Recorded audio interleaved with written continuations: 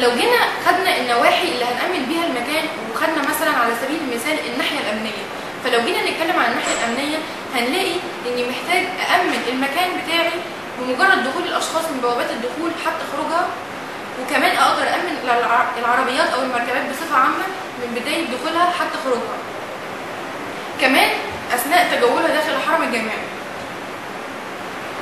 لو جينا اتكلمنا عن الطرق التقليدية فهو لو إحنا حتى امنا البوابات من الدخول والخروج فاحنا ما بيكونش عندنا تفاصيل أو حاجات بيانات أكتر عن اللي بيحصل داخل الحرم الجامعي.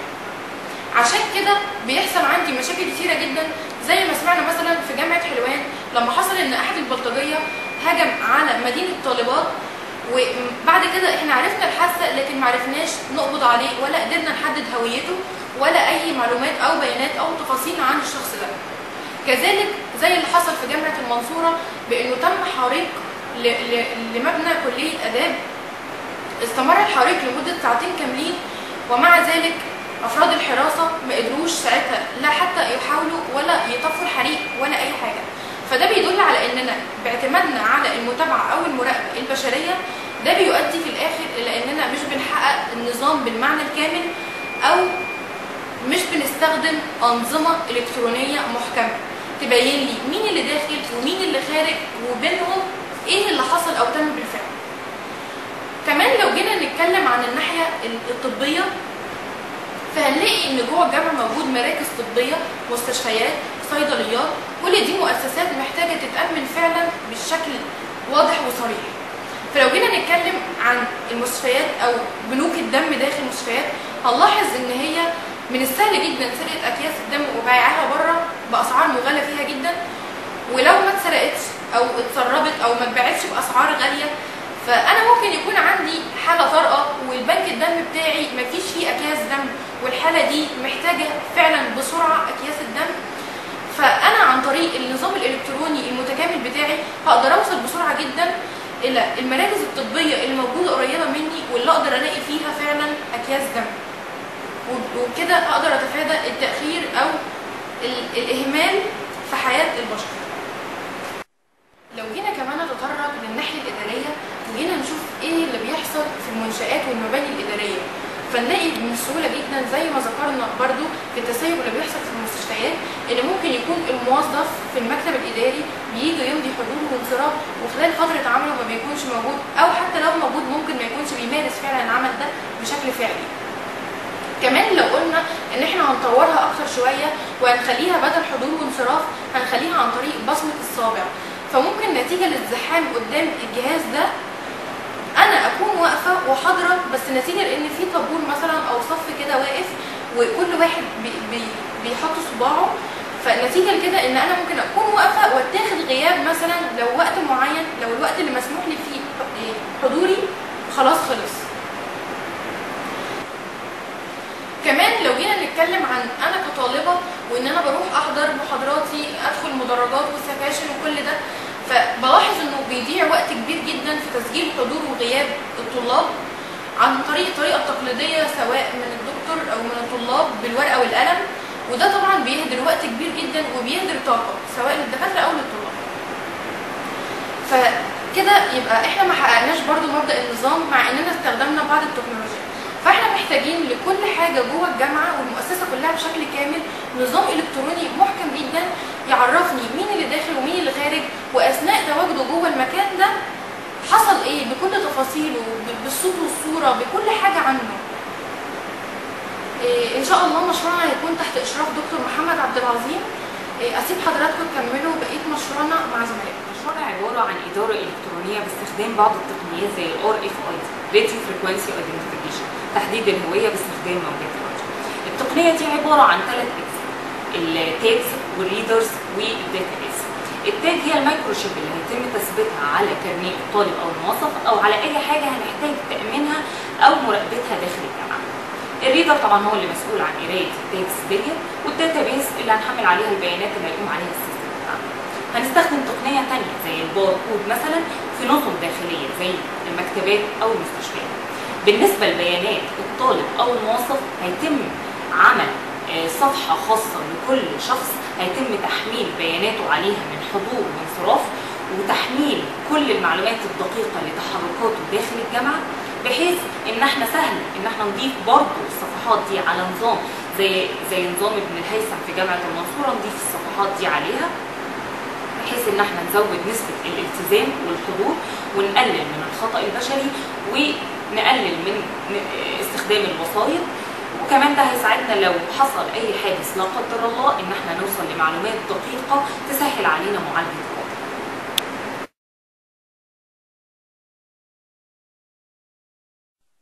أنا هكلمكم عن نظام التشغيل. إحنا قسمنا مشروعنا لثلاث مراحل. أول مرحلة هي تأمين دخول الطلاب من البوابات الرئيسية.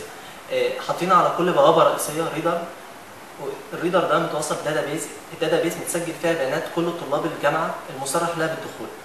هيكون لكل طالب جامعي tag بحيث لما بيقرب من ال reader مسافة معينة ال reader هيقرأ ال tag بتاع الشخص ده هيعرف اللي هو مصرح ليه بالدخول هيعمل face matching لو لو حصل تطابق ما بين بيانات الوجه ما بين الشخص اللي هنلقط الصورة بتاعه وما بين البيانات الموجودة عندنا في ال database فالطالب ده هيعرف يدخل الب- الباب هيتفتح قدامه آه، في نفس المرحلة نأمن دخول العربيات من البوابات المخصصة ليها. هنحط reader في كل بوابة.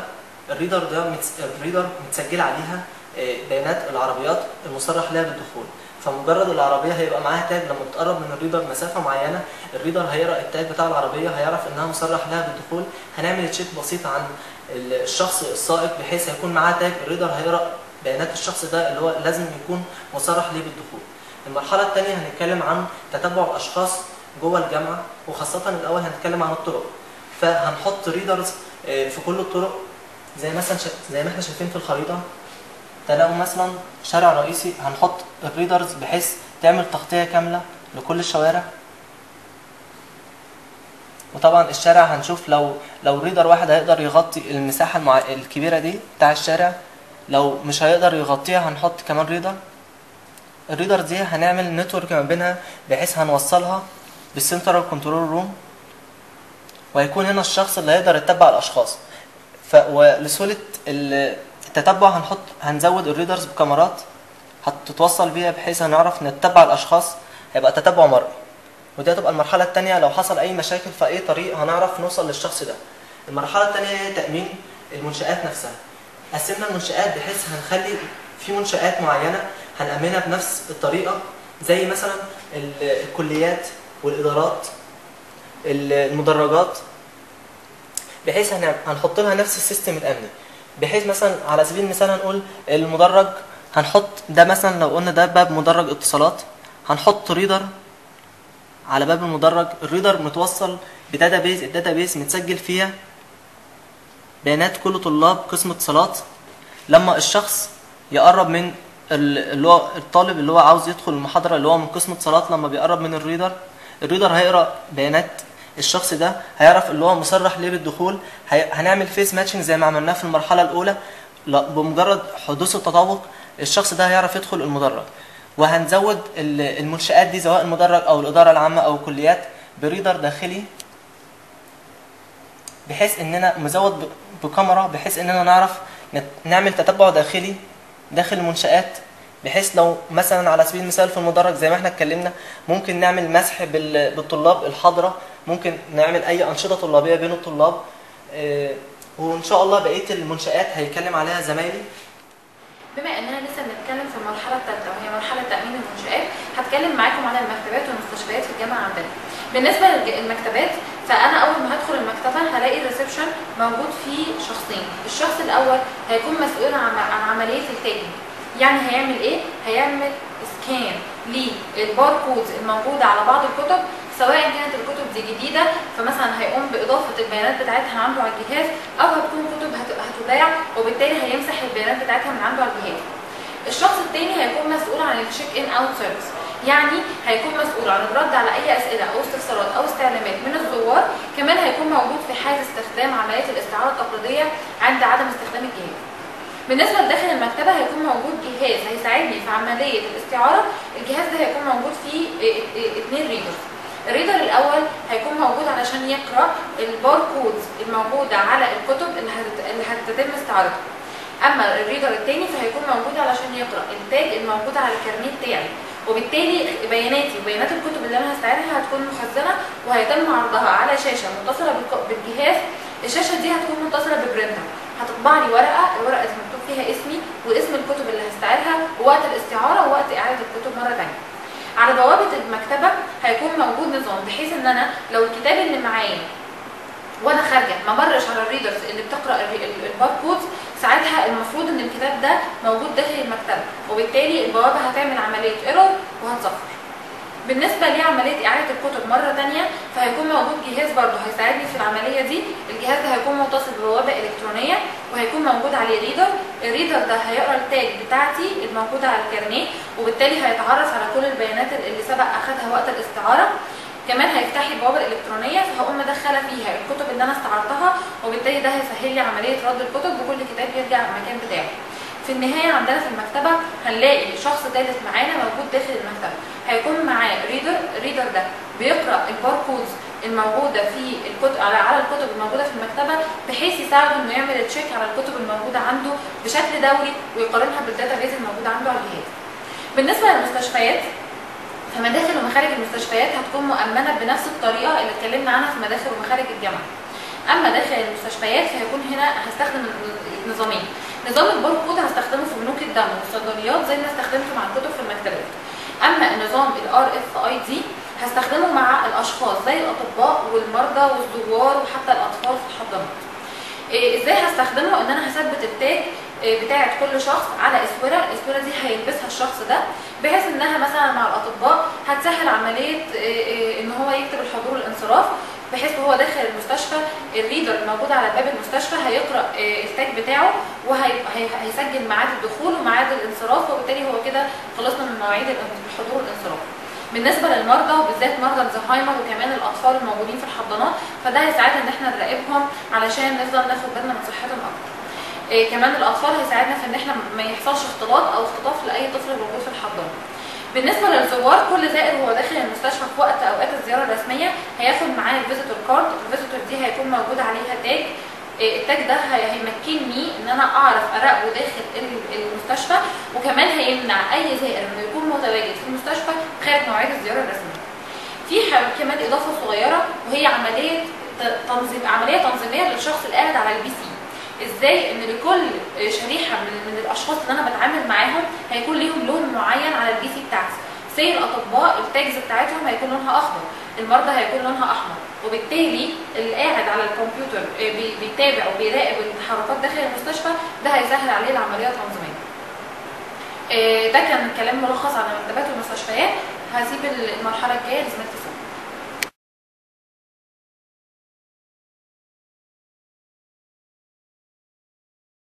هكلمكم على الأول بتاع المشروع بتاعنا لما يتنفذ إن شاء الله. آه، وأنا داخله من البوابه مش هقف كتير على البوابه آه، لأن بمجرد ما هدخل هيتعرف على مين وهيتعرف آه، مكاني في أي وقت بحيث إن لو حصل مشكلة أي حد من موظفين الأمن يقدر يوصلني. آه، وبكده هقدر أقلل الزحام اللي بيحصل على البوابات. كمان هقدر أتأكد إن الناس اللي داخلة الجامعة هي الناس بس اللي مسموح لها تخش الجامعة. في المدرجات نفس الحكاية. هقدر أتأكد إن الناس اللي داخلة المدرج هي نفس الناس اللي تقدر مسموح لها بس إنها تدخل المدرج. الوقت اللي بيتاخد فيه الغياب آه، هيقل تماما وأعتقد إنه هيتم بطريقة عادلة جدا. آه، المكتبات هقدر أستعير الكتاب آه، فيها بسهولة لأن أنا داخلة عارفة الكتاب مكانه فين مش هستنى الموظف لما يجي يشوف الكتاب مكانه فين أو كده لأ أنا هبقى داخلة عارفة الكتاب مكانه فين وأوصل له. آه، زمن الاستعارة نفسه هيقل بشكل كبير آه، لأن مش هستخدم فيها طريقة يدوية لأ أنا هستخدم فيها آه، طريقة إلكترونية فهتعدي بسرعة جدا. آه، المستشفيات هقدر أعرف فيها زمن دخول وخروج الأطباء لأن هم فعلا آه، مش بيكون ليهم زمن دخول وخروج محدد. فبالتالي أنا أحيانا ما بقاش عارفة الدكتور نفسه فين. آه، فمجرد آه، ما أخش على السيستم هعرف مكان الدكتور فين. واستدعيه في أي وقت. آه، الحضانات هبقى عارفة آه، هقدر أمنع هقدر أمنع من الحضانات ان يخش فيها حد ويخطف طفل ما عشان يبيعه أو يحصل تبديل للأطفال. آه، بشكل خطأ يعني. آه، أكياس الدم هضمن إنها توصل آه، للناس اللي محتاجاها بجد إنها مش هتتاخد عشان تتباع. بكده أعتقد إن إحنا استبدلنا كل الأمور التقليدية بصورة آه، إلكترونية بسيطة. أسيبكم مع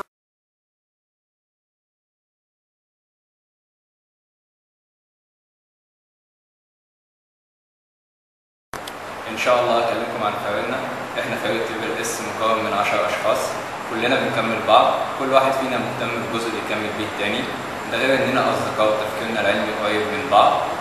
وكمان اشتغلنا مع بعض قبل كده وفي روح تعاون بينا. وكان هدفنا في أول المشروع إننا نفكر في فكرة نقدر نخدم بيها نفسنا كطلبة وإحنا في آخر سنه لينا. وكمان تكون أقل حاجة نقدر نديها لجامعتنا.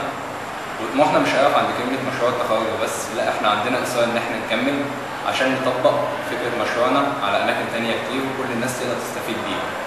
ودخولنا ال MIE كان هو أول خطوة لإثبات هدفنا لأن ال MIE هتساعدنا بشكل كبير في إننا نسوق من مشروعنا وإن الشركات تتعرف عليه بشكل أكبر وتقدر تطبقه. ده بالإضافة إن MIE هتدينا قدرات أكتر عشان نقدر نطور من مشروعنا. وفي النهاية يا رب المشروع ينال إعجابكم والسلام عليكم ورحمة الله وبركاته. وشكرا.